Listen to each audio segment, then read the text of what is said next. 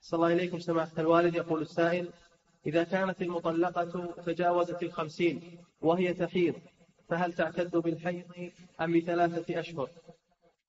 عند الجمهور لا حيض بعد الخمسين فما يأتيها الدم بعد الخمسين ليس حيضا وإنما هو نزيف وهذا هو الراجح وهو المشتبه نعم.